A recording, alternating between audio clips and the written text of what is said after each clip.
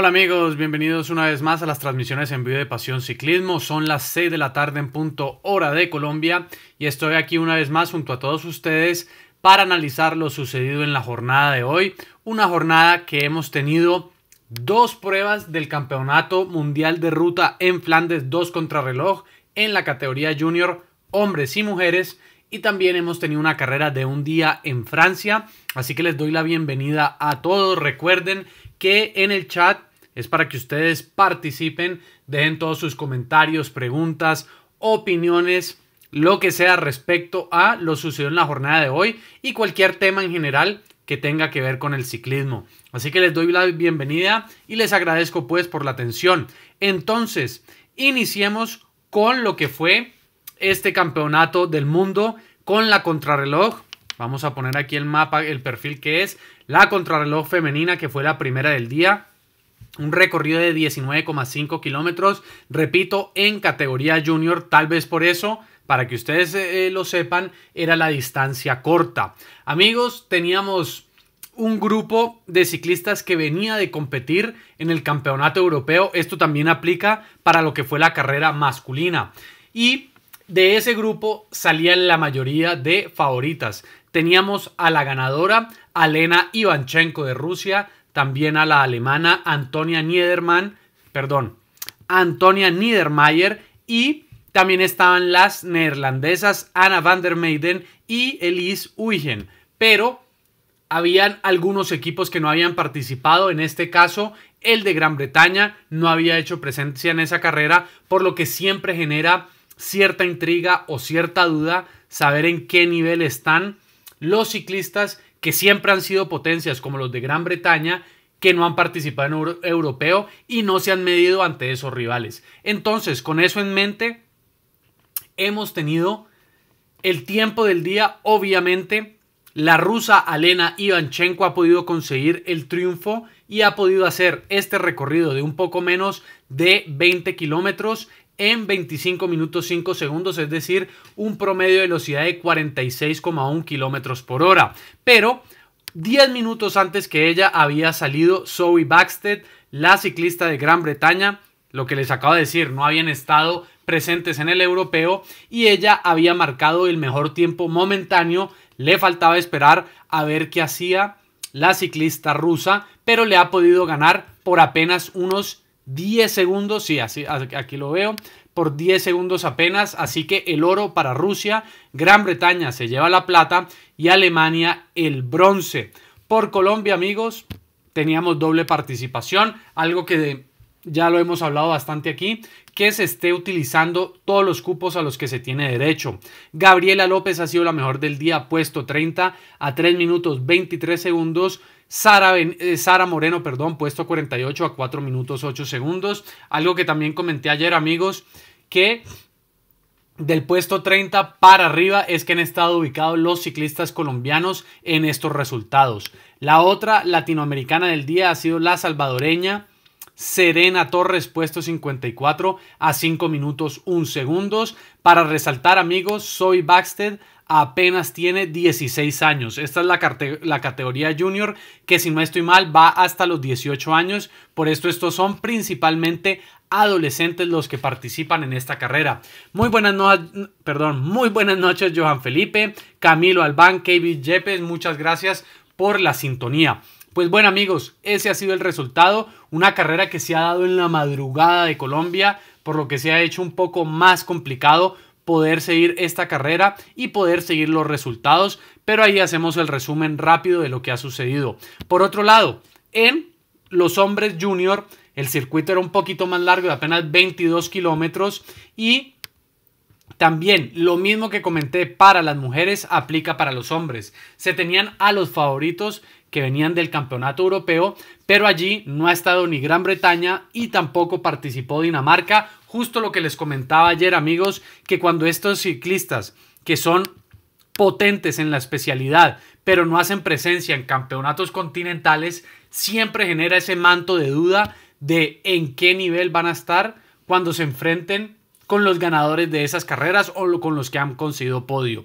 Así que yo ayer les comentaba que los favoritos eran los ciclistas de Bélgica. Teníamos a Alex Segard, también a the Brooks, que como también les dije ayer, ya tiene contrato de tres años para el próximo año, comenzando el próximo año con Bora Hansgrohe. También estaban los franceses Eddie Lewitus y Romain Gregoire, pero el ciclista que gana principalmente todas las carreras en la categoría junior, salvo las contrarreloj, tal vez Esperaba yo mucho más de él, no ha obtenido un buen resultado, ha estado más allá del puesto 30, así que Romain Gregoire no tiene dentro de su especialidad la contrarreloj, de resto cualquier otra carrera se la lleva por delante. Mucho ojo con él para este viernes porque es el máximo favorito para esa carrera en línea. Así pues, luego de este pequeño eh, contexto, han salido los ciclistas. Sian With ha decepcionado un poco, pero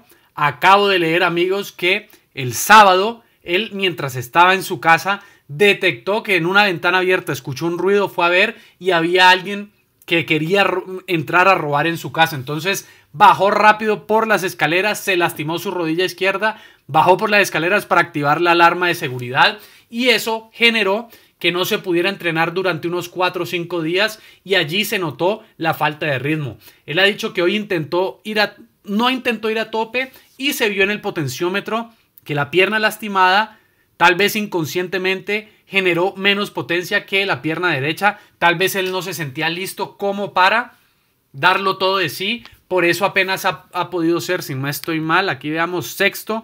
Así es, Sian With the apenas ha, ha sido sexto luego de ese pequeño susto que tuvo en su casa. Sin embargo, el que se esperaba que era el máximo favorito, Alex Segard, ha sido el último en salir y ya había un tiempo principal o un tiempo que era el que todo contra el que todos se tenían que medir y era del danés Gustav Wang. Había marcado un registro de 25 minutos 37 segundos con un promedio de velocidad de 52,2 kilómetros por hora.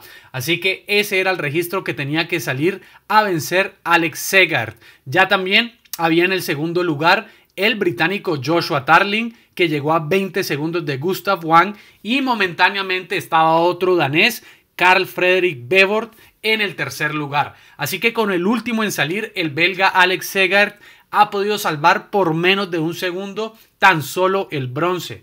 Y amigos, desde lo que desde que inició este campeonato del mundo el día domingo, hemos tenido tal vez unas decepciones para la nación local, para los belgas, porque con Remco Evenepoel y con Wout van Aert no han podido conseguir ese oro y hoy tenían a los máximos favoritos y tampoco lo han hecho, pero sí han conseguido ya tres medallas por lo menos en estas cronos masculinas, sumada ayer la de Florian Vermeers. Así que amigos, ese ha sido el resultado. Sorpresa en el sentido de que no teníamos a estos ciclistas en el cuaderno principalmente por lo comentado no habían participado en el campeonato europeo, pero yo ayer sí les comenté que había que tener mucho cuidado con Dinamarca y con Gran Bretaña porque son naciones que usualmente les va muy bien en este tipo de carreras.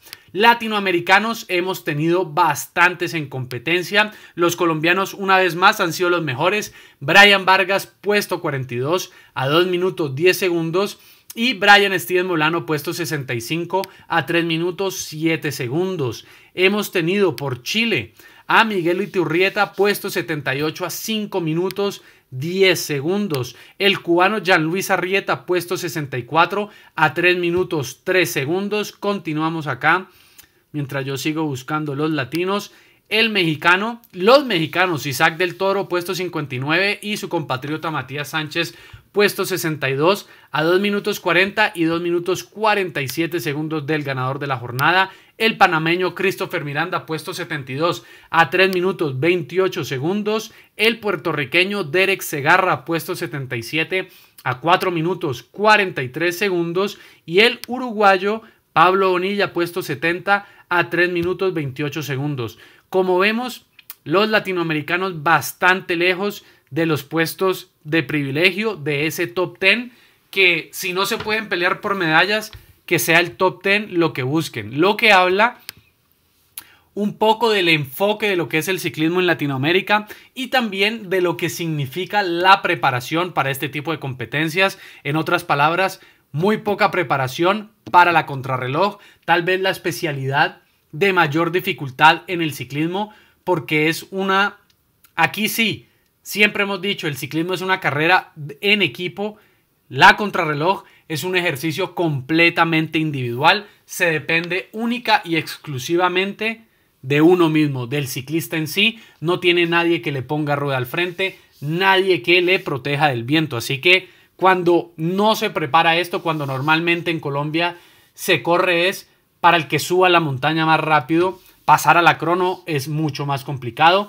Y esta, perdón, este campeonato del mundo lo único que ha hecho es confirmar lo que ya todos sabemos, que falta muchísima más preparación en esta especialidad. Si se quiere mejorar y, lo decía ayer, en Colombia, que la mayoría, un 90 o un 95%, me estoy inventando el número, pero sé que es un gran número, los aficionados solo siguen las grandes vueltas y allí hemos enterado, nos hemos enterado en los últimos años que hay que ser un ciclista completo. No solo alguien que pueda subir bien una montaña, sino que se pueda defender en la contrarreloj. Porque hay rivales como los eslovenos que son excelentes contra el reloj, igual de buenos en la montaña a sus rivales. Así que si en un futuro se les quiere ganar, hay que comenzar a trabajar desde ya en las categorías inferiores esta especialidad que es la que marca el ritmo y la que marca la tendencia de quiénes son los que ganan las grandes vueltas. Así que, amigos, además es una especialidad que para ver en televisión es muy divertida, pero para el que la practica se sufre mucho. Vamos a ver si en unos 5 o 6 años tenemos se sienten desde, hoy las bases para preparar a los futuros ciclistas que van a representar a Latinoamérica en la contrarreloj. Hola Pepito González, muy buenas noches, gracias por la sintonía. Entonces amigos, ese ha sido el resultado de las cronos categoría junior y ya termina la contrarreloj. Ahora se viene una única prueba mañana, la contrarreloj por equipos. Y esta, si no estoy mal, se vio por primera vez el año pasado en perdón, el año pasado no, en 2019 en Yorkshire, que tuvo como campeón a Países Bajos.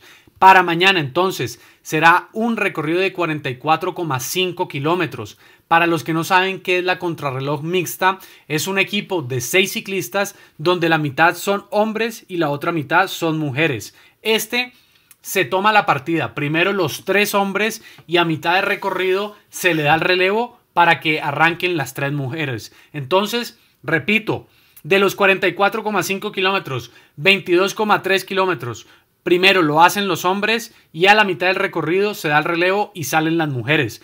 Es un contrarreloj mixta, pero no corren todos juntos. Primero los hombres, luego las mujeres para que tengan eso en cuenta. El recorrido es completamente llano, como todos los de, esta eh, de este campeonato del mundo. Inicia en la costa en Bélgica, en Noque Heights, termina en Brujas. Pero amigos, aquí les voy a mostrar. Primero salen los hombres y van por la línea de la izquierda, se da el relevo en Brujas. Allí salen las mujeres y toman esa desviación a la derecha para ir en contrasentido de lo que han corrido últimamente las cronos, regresan aquí, se toma el tiempo y vuelven en sentido sur hacia Brujas. Es el recorrido que van a hacer los ciclistas el día de mañana y va a ser interesante ver ese relevo en la ciudad de Brujas cuando pasen los hombres e inmediatamente salgan de la rampa las mujeres y luego se termina en el mismo sitio. Así que tiene ese interés de que son hombres y mujeres, pero insisto, no corren juntos en ningún momento, simplemente se da un relevo, pero también tiene cierta importancia. Así que amigos, aquí apenas 13 equipos participan, cualquier nación podía participar, Colombia lo podía hacer, sin embargo tenía que enviar un correo a la Unión Ciclista Internacional antes de cierta fecha, no me acuerdo, yo se los comenté aquí en vivo, no me acuerdo cuándo era dicha fecha, pero claramente o no enviaron el correo o no se cumplió con las con los requisitos para la prueba. En fin, Colombia no participa en esta prueba, que si bien es nueva, eh, obviamente Colombia no entraría a buscar medallas, pero bueno, si se puede participar, ¿por qué no hacerlo siempre? Estando allá, tienen a las mujeres, tienen a los hombres. Obviamente es un esfuerzo más para las mujeres que van a estar en su carrera. Ojo, esto es élite, esto no es ni sub-23 ni junior. Entonces sí sería un esfuerzo mayor para aquellas ciclistas y para aquellos ciclistas que van a competir sábado y domingo, pero siempre soy de los que piensa que si se tiene una especialidad como esta y simplemente es enviar un correo para participar, pues que se aproveche. Pero bueno, más allá de eso, también es cierto que no todos los ciclistas en este momento están en Bélgica. Vimos que Rigobert Urán puso en sus redes sociales, compitió el día domingo y ahora está en, en, Italia. No me acuerdo en qué parte puso, pero se encuentra en Italia. Así que fue a Italia para preparar la carrera del domingo para regresar a Bélgica. Entonces, eh, tal vez por eso es que tampoco se haya eh, aprovechado de ese cupo. Sin embargo, amigos, lo que me llama la atención es que podemos ver tanto a las mejores mujeres como los mejores hombres tomar en esta partida y vamos a ver duelos hombres con hombres, mujeres con mujeres. Pero, ¿cuáles son los equipos a tener en cuenta para el triunfo de mañana? Yo creería que el equipo más balanceado es el de Suiza. Tienen tres hombres y tres mujeres que son en un nivel similar cada uno. Es decir, obviamente los hombres, por el fisiotipo, por el físico de los hombres, van a ser mucho más fuertes, más rápido que las mujeres. No me refiero a eso. Me refiero que si se, toman los hombres, si se compara con los hombres, son de muy buen nivel. Y si tomamos a las mujeres y las comparamos con las mujeres de los otros equipos, también son de muy buen nivel. A eso me refiero de que es un equipo balanceado en cual en que no hay ninguno que sea mejor que el otro en sus respectivas categorías. Así pues, Suiza saldrá con Mauro Schmidt, Stefan Kuhn, campeón europeo, y Stefan Biseger, que este año ha ganado varias cronos. Esperamos que se dé un buen entendimiento entre ellos. Luego, le dará en el relevo a Elise Xavi, Nicole Kohler y Marlen Reuser. Es un equipo, repito, que tienen buenos pedalistas de entre los hombres y las mujeres. Marlen Reuser fue plata el día lunes en la contrarreloj individual. Leo uno de los mensajes, dice Daniel RS. Hay mucho que trabajar en Latinoamérica para el ciclismo. Hay que darle visibilidad para atraer la, inversión privada, pues la inversión pública es muy lenta. Pepito dice, no sería mejor que vayan los seis juntos, sería más interesante. Pero a lo que me refiero con eso, las mujeres, así sea la mejor ciclista del mundo, nunca va a poder mantener el nivel de un hombre porque el físico y la naturaleza de cada de hombres y mujeres es completamente distinta en el ciclismo es muy complicado que una mujer pueda mantener la velocidad de un hombre. Al momento de que le diera relevo se bajaría la velocidad punta y luego cuando pase a la parte de atrás la mujer probablemente quedaría descolgada. Tal vez Annemiek van Vleuten podría intentarlo pero llegaría completamente vacía la línea de meta. Así que no es porque no, es porque no, quieran hacerlo sino que los físicos de hombre y mujer no tiene comparación. Por eso, no se juega fútbol mezclando hombre y mujer, lo mismo en tenis, en cualquier deporte que ustedes vean, los hombres practican con los hombres y las mujeres con mujeres. No es porque no se quiera integrar, sino, insisto, el físico no permite que una mujer pueda mantener la velocidad de un hombre o la velocidad máxima. Ustedes lo pueden ver si estuvieron pendientes en los Olímpicos, en atletismo, en natación. Los registros de los hombres son mucho más rápidos que los registros de mujeres, pueden lanzar la jabalina más lejos, el martillo más lejos, corren los 100 metros más rápidos, nadan la mariposa 200 metros más rápido. Entonces no sería un campo, por así decirlo, balanceado entre los deportistas. Repito, esto no es de ser sexista ni machista, simplemente es el físico de unos y otros. Por eso no se puede mezclar. Pero bueno, continúo. Les decía que Suiza es el equipo más balanceado en ese sentido. Luego están dos selecciones muy potentes. Italia tiene el desbalance en que los hombres son de mucha más calidad en la contrarreloj que su par femenino. Por ejemplo, Eduardo Affini, Filippo Gana y Mateo Sobrero les van a dar una ventaja bastante grande a las mujeres que luego ellas deberán intentar mantener. Marta Cavalli, Elena Cecchini, Elisa Longoborghini. Por el lado de Países Bajos es completamente distinto a lo de Italia. Las mujeres son mucho mejores que los hombres en esta especialidad. Cohen Bowman, Bauke Molema, el único que es especialista ahí es Jos Van Endem. Le darán el relevo a las mujeres, pero probablemente las mujeres tengan que poner mucho más de sí para contrarrestar la pérdida de tiempo. Que tengan los hombres de Países Bajos con los hombres de Italia. No sé si me hago entender, por favor, si tienen preguntas para me lo hacen e intento ser más claro. Así que el relevo lo recibirán Annemiek van Vleuten, que fue bronce el día lunes, que fue oro en los Juegos Olímpicos en la contrarreloj. Ellen van Dijk, campeona del mundo este lunes, y Rayane Marcus, que también participó en la crono este lunes. También es cierto, amigos, el ejercicio individual es completamente distinto a la crono por equipos. Aún así, en Países Bajos las mujeres son mucho mejores, repito, si las comparamos con el nivel de otras mujeres en la prueba de mañana. Y por el lado de Italia, los hombres son mucho mejor que las mujeres en el sentido de que los hombres son de mucho más nivel si les comparamos con los hombres de otros equipos y las mujeres van a quedar muy por detrás de las mujeres de otros equipos. Ojalá haya sido lo más claro posible y repito, si no se entiende bien qué es lo que estoy diciendo o si no me he explicado bien, me pueden preguntar e intento aclarar más este tema. Luego, otros equipos a tener en cuenta están alemanes, que, que creo también tiene un equipo balanceado en el nivel de hombres y mujeres, pero sí está un poco por detrás de lo que es Suiza. Saldrán primero Max Walscheid, Nicky Azar y Tony Martin, que se retira mañana luego de esta prueba. Y las mujeres son Lisa Brenauer, Lisa Klein y Mieke Kreger. Así que este equipo creería puede estar en busca de las medallas si llegan a ser bronce sería un excelente resultado para ellos. Y luego el otro equipo a tener en cuenta es Dinamarca, con Magnus Kort, que viene de ganar tres etapas en la Vuelta a España, Matías Nosgo, el hombre de Movistar, y Mikkel Bier, que fue tres veces campeón del mundo sub-23. Le darán el relevo a Amalie Dideriksen, campeona del mundo en ruta, no en crono, en ruta, en 2016, si no estoy mal en Qatar, Julie Led y Emma Nosgo, que es la velocista de Movistar Team y para los que no saben, ella es hermana de Matías Nosgo, así que en el mismo equipo correrán estos dos hermanos, ambos de Movistar Team.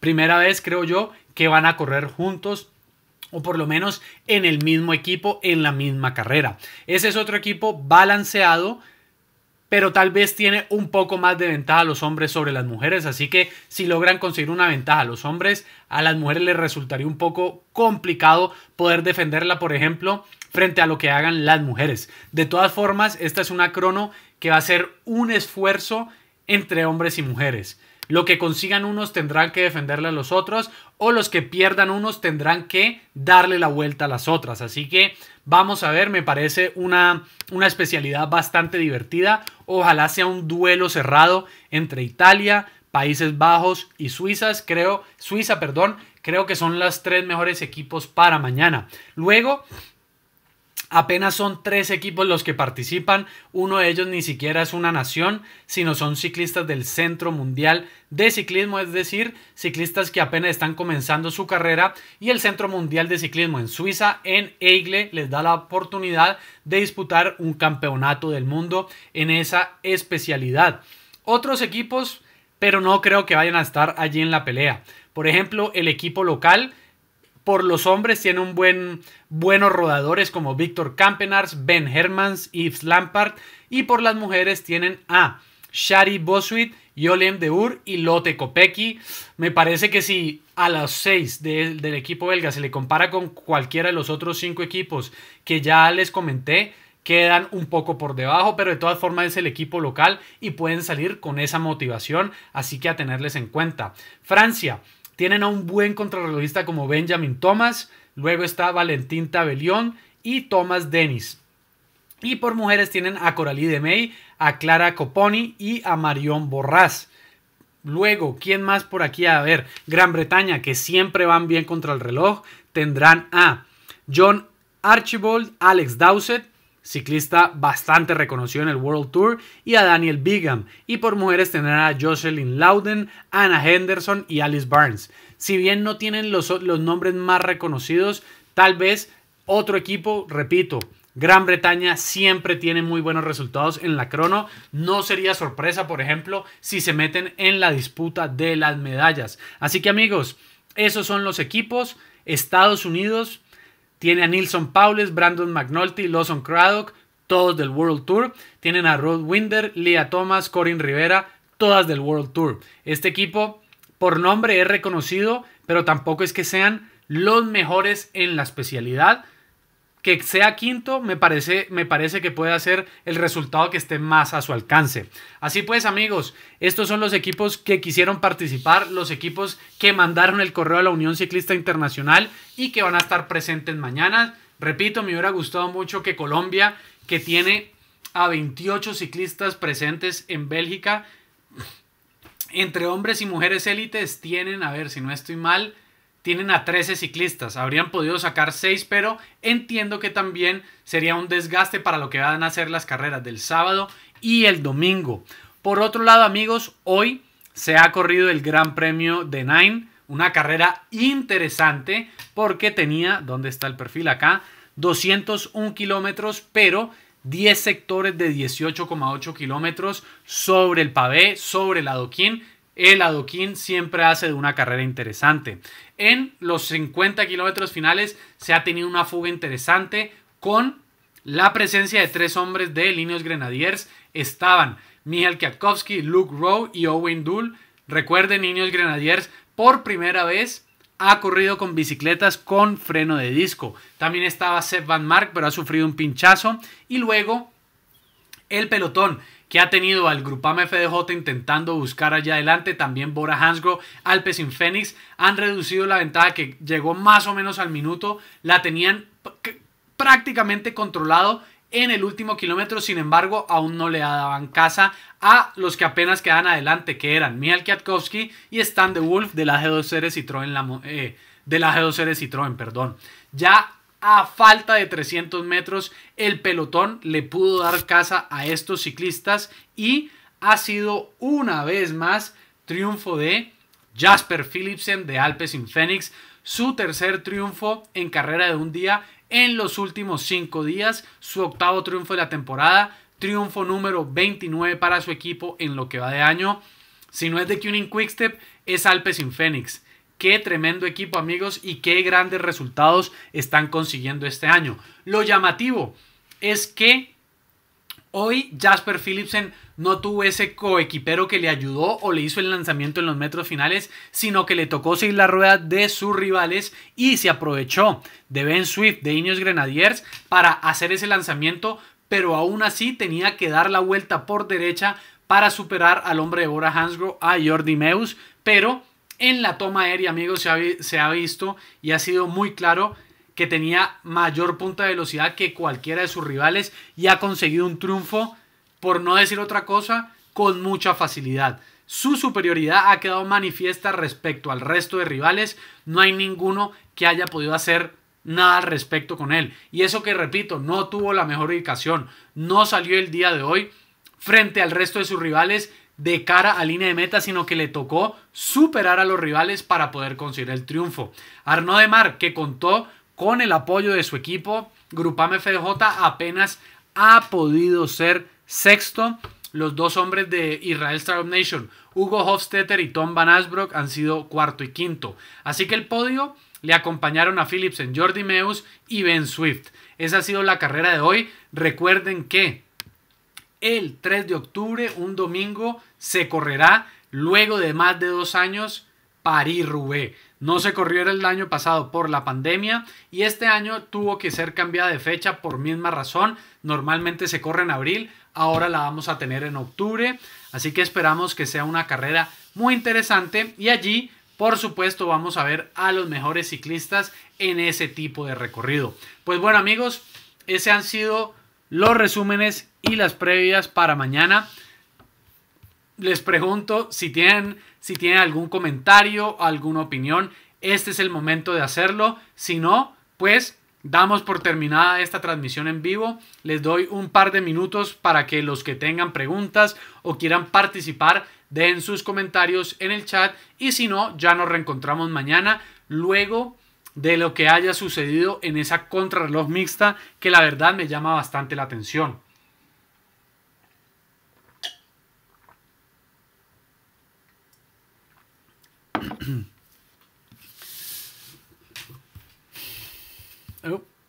No sé qué pongo la cámara acá, que la había quitado.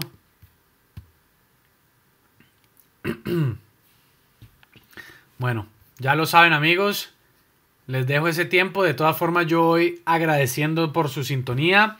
Nos reencontramos mañana a 6 de la tarde en punto hora de Colombia. Habrá resumen luego de la carrera. Y ya este jueves creo, creo que el jueves es día de descanso o no habrá, no habrá actividad este jueves en el Campeonato del Mundo. Y las carreras en línea para hombres y mujeres junior, para mujeres eh, élite, hombres sub 23 y hombres élite. Perdón, uy, perdón amigos, qué pena. Se llevará a cabo este viernes, sábado y domingo. Así que bueno, si no hay preguntas, les agradezco enormemente. Nos reencontramos mañana.